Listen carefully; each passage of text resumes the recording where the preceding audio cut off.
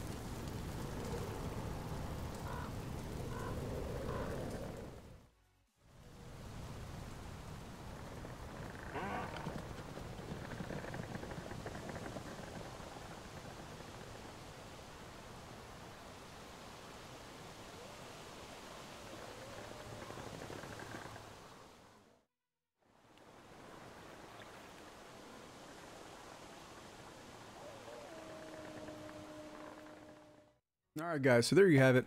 The comparison between the new NVENC encoder as well as X264 on medium. Uh, once again, I'm still a big fan of the new uh, the new NVIDIA encoder. Uh, X264 looks gorgeous as well, but my PC actually had a really hard time running this benchmark uh, on the X264 medium preset. So it was interesting to see how much this game can actually stress your PC. So hopefully you guys enjoyed it. Feel free to like and subscribe. You guys can always catch me live on Twitch about five or six nights a week at twitch.tv slash Carto. Till next time, dudes, stay humble. Take care.